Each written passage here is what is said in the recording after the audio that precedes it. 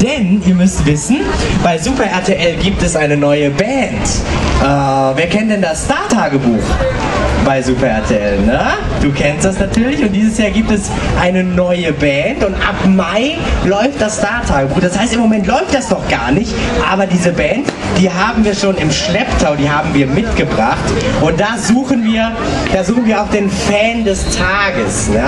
Natürlich werdet ihr jetzt sagen, ich kenne die denn noch gar nicht, ich habe da noch gar keine Ahnung, ob ich mal ein Fan bin, aber es geht ja auch um ein bisschen Karaoke singen, ne? Und Karaoke singen macht ja auch Spaß und wer weiß, wenn ihr die Band dann nachher seht und eventuell mögt ihr die dann sogar, ne? Das ist natürlich nicht ausgeschlossen. Ich gehe sogar sehr davon aus, ja? Also, wer möchte denn äh, sich bewerben um den Fan des Tages? Wer möchte Karaoke singen? Auch gerne zusammen, ist auch zusammen möglich, ne? Wollt ihr beide singen? Ja? Und wer möchte noch singen? Noch eine Band? Na, na, wer möchte noch? Karaoke? Na komm, wer hat denn schon mal Karaoke gesungen?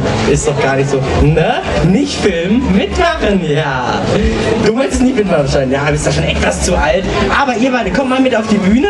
Das